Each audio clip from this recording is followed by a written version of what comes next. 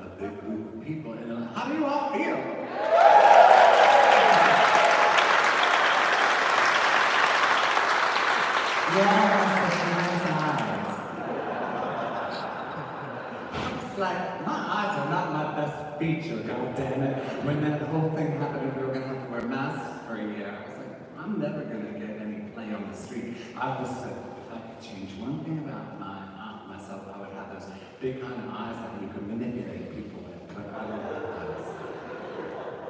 So I've just been fending for myself for the last year.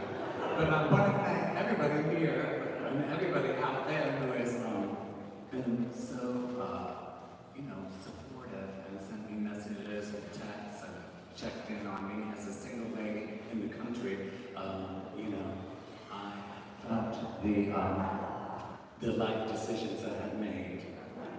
Um, as far as intimacy and closeness. Um, so that dearth has certainly been a wake-up call. So uh, I'm glad I'm back here where I invested all my energy in the first place. So um, thank you for coming, showing up. It's like, what happens if after year, the only thing I really had going So thank you for showing up.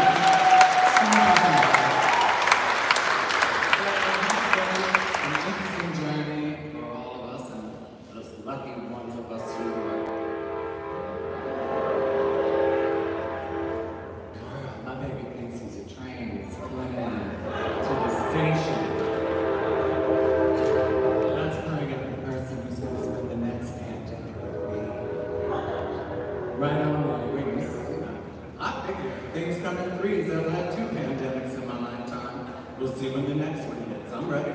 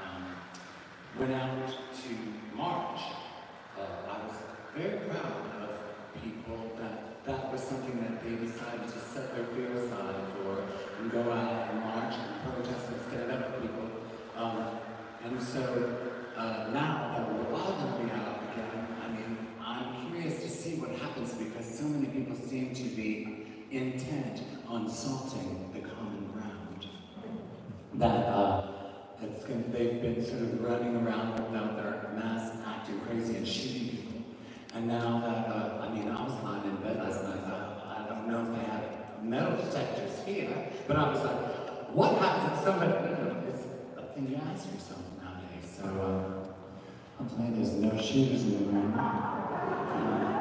Sometimes I just scream in my house, I got a gun, so my neighbors will be afraid of me.